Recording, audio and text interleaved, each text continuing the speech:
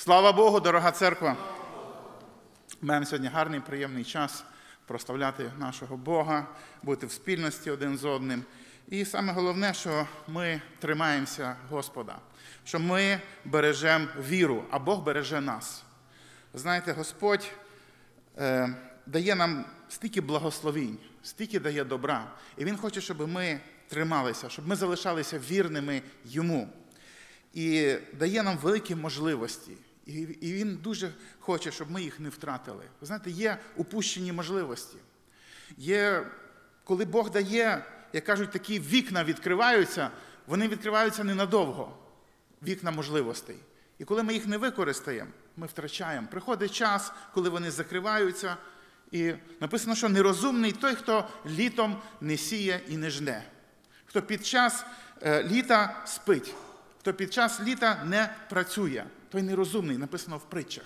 Це є літо, це є можливості. В Ізраїлі в той час це були можливості посадити урожай і зібрати його потім, або навіть два, і в деякі деякі культури по три урожая на рік можна збирати. Але приходить час, коли воно вже рости не буде. І людина втратила. Людина, яка не використала цей час, літо, вона втратила. Є літо час, коли нема дощу, перекрити дах. А коли йдуть дощі, правда, дах перекривати незручно. Дуже воно якось, хоча в нас люди приспособилися, будівництво йде круглий рік і під час дощу, але краще зробити, коли світить сонце і сухо, і гарно використати ці можливості. І духовні можливості є так само. До багатьох людей Господь стукає в серця. Я кажу, що деякі люди вони просто вибрані на спасіння і від них то не залежить. Ну це не так. Господь стукає в кожне серце. І хто відкрив, той получить спасіння, той получить благословіння. Так само є духовні можливості. Є духовні можливості сіяти. Ви знаєте, коли рухнув Радянський Союз, почалася свобода. І знаєте, так приємно, коли використали ці можливості, почалися євангелізації. Вони почалися, е, люди почали проповідувати, розносити Євангелії, говорити людям, запрошувати в церкву. І церкви відкривались, відкривалися. Сьогодні Україна, слава Господу, має багато церков. Бо були вчасно використані ці можливості. Сьогодні проповідувати в Україні набагато важче, ніж було тоді. Сьогодні серця людей вони більш закриті, ніж були відкриті на початку 90-х. Сьогодні е, в Америці серця людей вони стають жорсточі, жорстокі з кожним з кожним роком. Кожний час люди стають ще більше закриті для Євангелії. Але все одно і сьогодні є можливості. І от є Господь стукає в серця людей. Багато людей відгукнулися на цей поклик, на цей стук і отримали спасіння. А багато, а деякі не получили. Хоча голос Божий був до них, голос Божий був в їхні серця. І написано, коли Павло проповідував в одному місті, це в діях апостолів, і юдеї опротивились. Хоча в своєму серці вони чули той поклик. І Павло каже: ви самі себе робите недостойними вічного життя. І каже: відтепер ми йдемо до язичників, йдемо до поган. Вони виконували. Е, слово Христа каже, йдіть перше до загиблих овець Ізраїля. І коли Павло приходив в якесь місто, він перше куди йшов? До юдеїв. Але юдеї його виганяли, юдеї не приймали.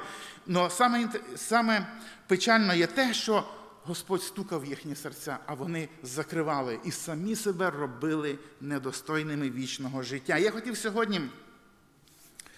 Е, проповідувати, е, розказати про одну особу, один персонаж, який написаний в книзі дії святих апостолів. Я вже другий раз говорю про, це, про, цю, про цю особу, яка втратила свої можливості, яка мала великі, перед нею були відкриті великі можливості, відкриті двері спасіння, двері благодаті, але та людина не ввійшла туди по різним причинам. І я хотів, щоб сьогодні ми так само були дуже обережні, щоб не наслідувати помилки цієї людини, яка втратила свої можливості. Перед нею були відкриті ці вікна, але він не використав, і вони закрились. І кінець цієї людини був дуже і дуже печальний. Років 6 чи 7 назад я говорив про цю особу.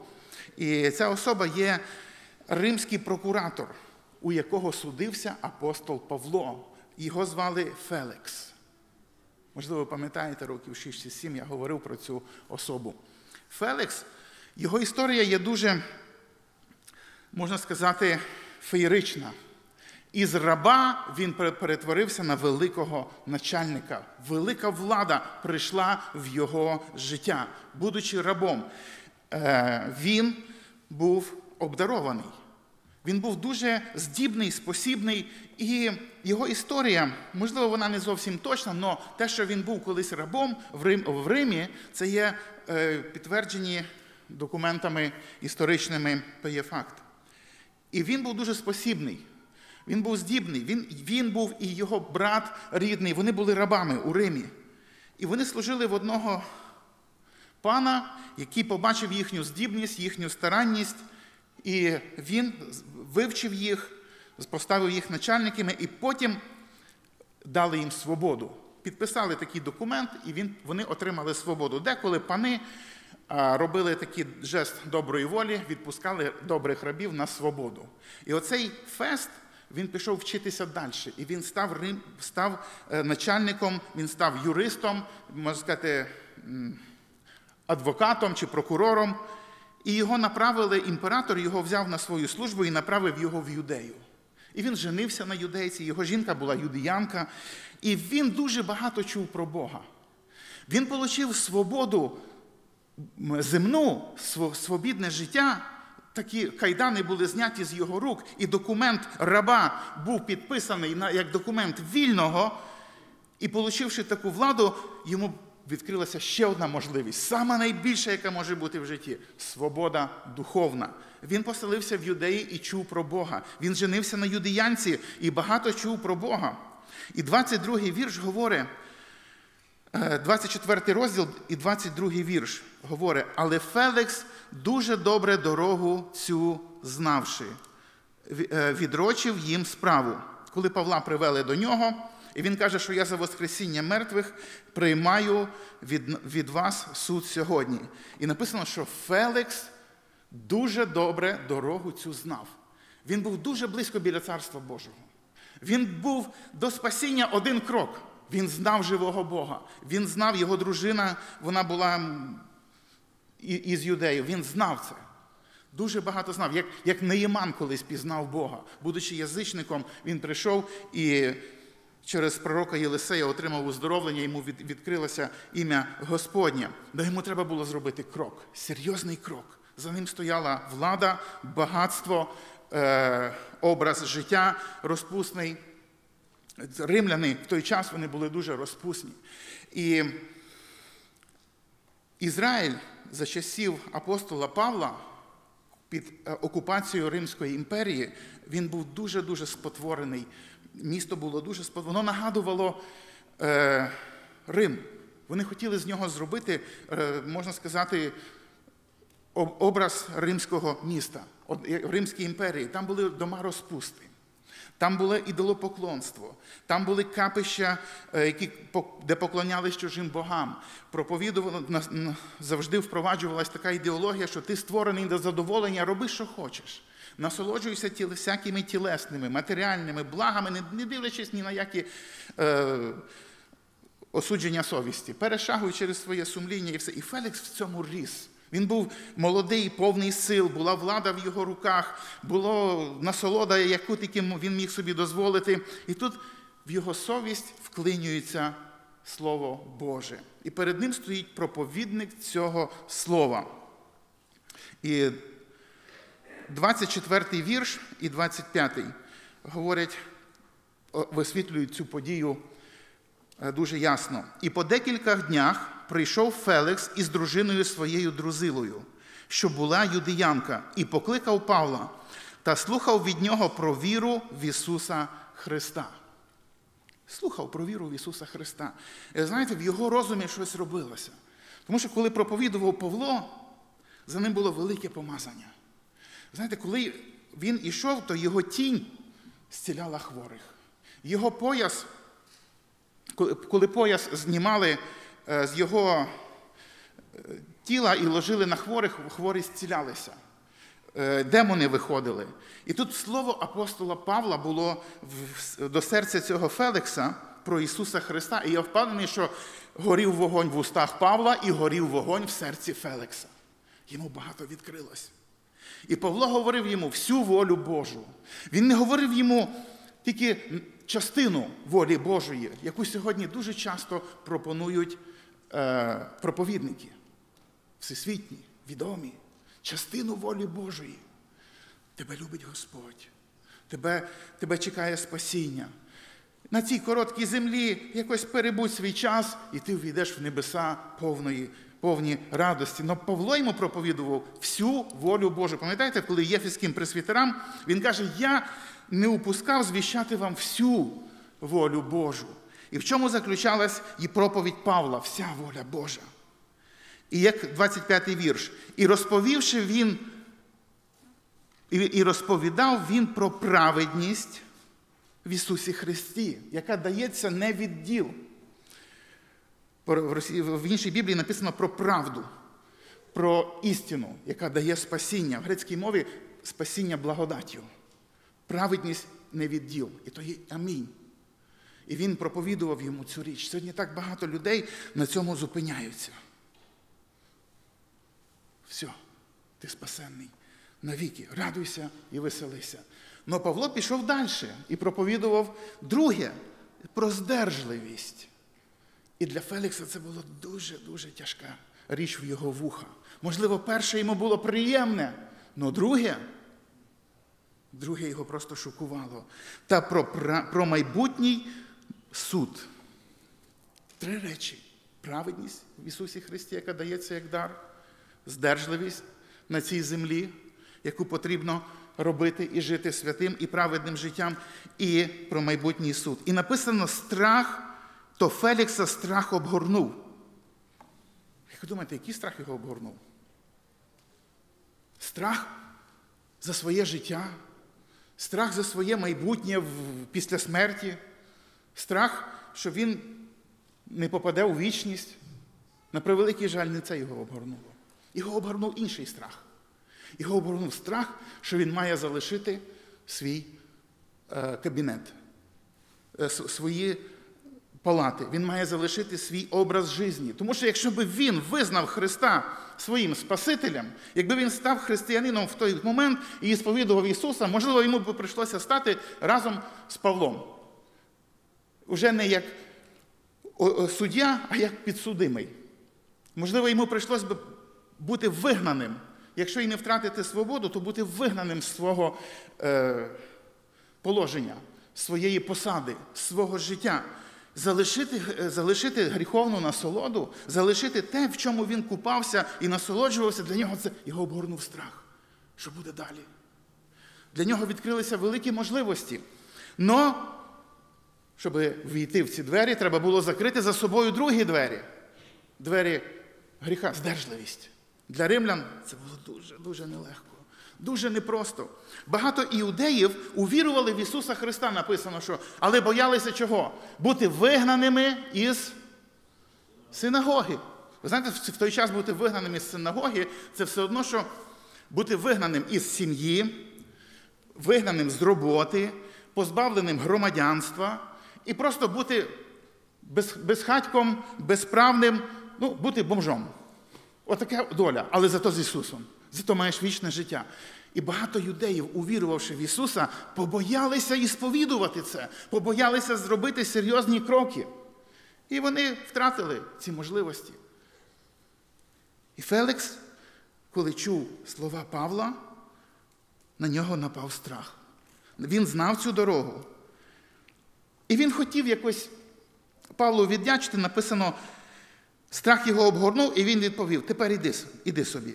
Відповідного ж часу покличу тебе. Іди назад в тюрму, іди в камеру, сиди там, я тебе колись покличу. Разом із тим сподівався він, що дасть Павло грошей йому, тому і часто прикликав його і розмову з ним вів. Він сподівався, що церква його викупить.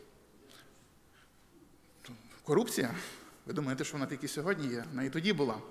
І вони чекали що Павло дасть грошей, що він десь там комусь напише, і віруючі скинуться, зберуться і викуплять Павла. В той час теж така процедура була. А як минуло два роки, Фелікс одержав Фелікс одержав наступника Порція Феста, і Фелікс бажав догодити юдеям, і у в'язниці Павла залишив. В його серці горів вогонь істини. Його розум був відкритий для Євангелії, але за ним щось стояло. Треба було заплатити ціну, і він втратив. Він боявся про те, що потрібна здержливість, що потрібно бути жити святим життям, потрібно залишити гріх. Він так цього боявся. Знаєте, ми можете запитати, для чого ти нам розказуєш цю історію? Це була історія колись, чи воно сьогодні нас торкається? Чи ми сьогодні маємо слухати оці, цю історію і якось щось для себе брати, якісь мати застереження? Маємо бути дуже і дуже обережні. Тому що ми спасені, ми маємо вічне життя, поки ми тримаємося за Ісуса. Поки ми стоїмо в ньому, поки ми ходимо в світлі, кров Христа омиває нас від всякого гріха, слава Господу. Ну якщо ми зробимо крок вліво, чи вправо, чи назад, поза Ісусом нема спасіння. Поза Ісусом нема життя, є смерть і погибель. І на превеликий жаль, коли ми йдемо нашою дорогою, ми бачимо впавших людей. Ми бачимо людей, які відійшли і впали, як один альпініст, який піднімався на Еверест. Він каже: я, піднімаючись на ту високу гору, це дуже небезпечно. Я бачив мертвих людей, які були в кольорових е, костюмах альпіністів, у всьому знарядженні, просто лежали в снігу, присипані снігом, і їх були десятки людей. І ніхто їх звідти забирати не може. Каже, і ми я йду, це дорога смерті. Чому ці люди відійшли? Вони каже, відійшли від дороги. Вони пробували заснути, вони щось не так зробили. І в нашому житті ми так само бачимо люди, які втратили віру. Я вам хочу сказати, що гріх це є дуже небезпечна річ. Здержливість для нас сьогодні, в цей час, як ніколи потрібна. Ми спасені вірою, благодаті, але Господь говорить про те, щоб ми були здержливі від спокус, від гріха, від іскушеній. Тому що гріх він не приносить нічого доброго. Маленький гріх, великий, він все робить нам на шкоду. Хоча велика милість Божа і благодать, вона готова простити і змити будь-який гріх. Но гріх приносить велику шкоду для нашого життя. Чотири речі, які робить гріх в нашому житті. Перше, гріх нас позорить. Гріх нікому не додає честі. Абсолютно.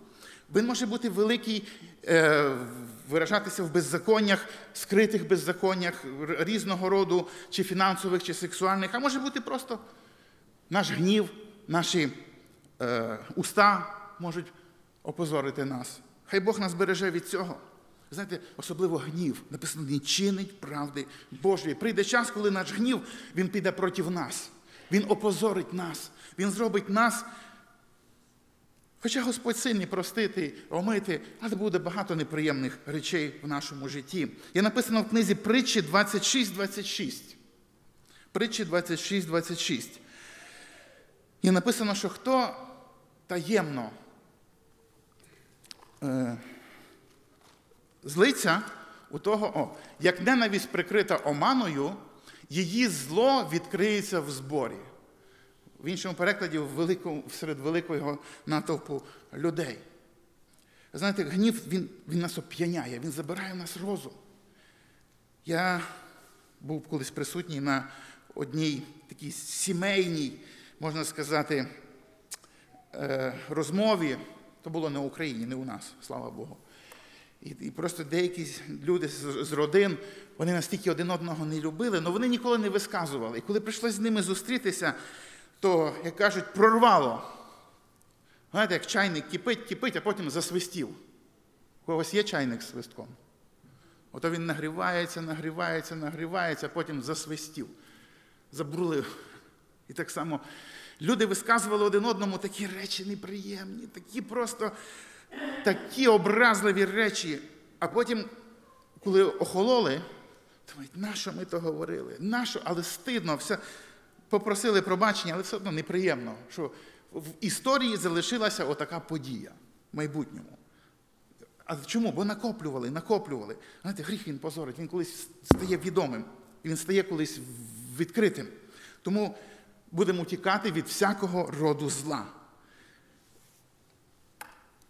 Багатьох людей гріх розоряє матеріально. матеріально. Наприклад, алкоголь, чи куриво, чи наркотик, чи азартні ігри роблять бідними. Немало людей розорилися, ставши е, е, рабами звички цієї, гріховної тяги. Хтось каже, я тільки попробувати хотів, я тільки хотів пару раз, пару раз пограти, пару раз зробити то чи інше, пару раз покурити якусь траву, але воно затягло надовго, на, на довгі роки і забрало все моє майно. І саме страшне, що гріх вбиває віру. Гріх робить нас, може зробити нас невіруючою людиною. Знаєте, коли ми грішимо постійно, регулярно, не каючись в цьому, не, не, не осуджуючи себе, каже Писання, якби ми судили самі себе, нас би не судив Господь. Амінь. Так написано. А якщо ми а, нічого, день за днем, день за днем в слові не пробуваємо, в молитвах не пробуваємо, і поступово пропадає інтерес до служіння, пропадає інтерес до Бога. І наше сприйняття світу вже стає зовсім інакшим. Біблія каже, щоб ми берегли свою віру, щоб ми випробовували себе, чи ми у вірі. Щоб наша віра укріплялась, нам треба молитися Духом Святим. Щоб наша віра укріплялась, нам треба пробувати в Писанні, щоб наше виправляти себе, щоб укріплятися, щоб робити щось краще. Коли ми цього не робимо, віра упадає. Я знаю віруючих, які стали мусульманами. Є віруючі, які стали атеїстами. Є віруючі, я знаю одного чоловіка, він живе у Франції. Він став екстрасенсом, будучи християнином, членом церкви, християн віри євангельської. Коли йому кажуть, слухай, що ти, як ти можеш так помінятися? Ну, що такого? Але цьому всьому передувала якась е, подія. Оце холодність. Потрошки, потрошки, потрошки грішимо, потрошки розслабляємося і втрачається віра. Тоді ми втрачаємо спасіння. Тому що якщо ми, ми спасені по вірі, якщо ми втратимо віру, ми втратимо спасіння. І гріх руйнує церкву. Ніколи гріх не може церкву будувати. Церква Христова будується на основі е, Христа і апостолів, основ, на науці. І церква Христова будується віруючими людьми. Ми з вами є оце каміння. І якщо ми грішимо, ми руйнуємося. І ми руйнуємо тим самим церкву. Ми не належимо самі собі, ми не можемо казати, у мене автономне життя, я що хочу, то роблю. Так не може бути. Кому інтересно, що я, кому інтересне моє життя? Я як живу, так хочу. Це моє приватне життя. Нема в нас приватного життя. Ну, є приватний дім, все, але духовно ми один одному належимо. Ми належимо Господу і церкві. Амінь. І руйнуючи себе, ми руйнуємо церкву. Ми руйнуємо авторитет церкви. Як написано, Павло каже до Коринтян, каже, через вас ім'я Господнє у язичників зневажається. Руйнується церква. Тому сьогодні, дорогі брати і сестри, нам Бог дав велику можливість. Нам Бог дає великі можливості перебувати в ньому, перебувати в Дусі Святому, перебувати в Писанні, поки наш розум ще не, не, не- не зостарився, поки хвороби і різні речі не зробили нас немічними, ми можемо працювати і, і перебувати в Бозі, навчатися Його істині і проповідувати її іншим, помагати тим, хто проповідує, робити для Бога багато е, добрих речей для проповіді Євангелії і будівництва церкви, будемо це робити. І саме головне для будівництва самих себе. Ми теж є храм, кожен із нас є храм, і будемо будувати свій храм і берегти його. Тому хай Бог благословить нас і укріпить. Хай Богу буде слава навіки. Амінь. Давайте схилимо коліна і помолимося.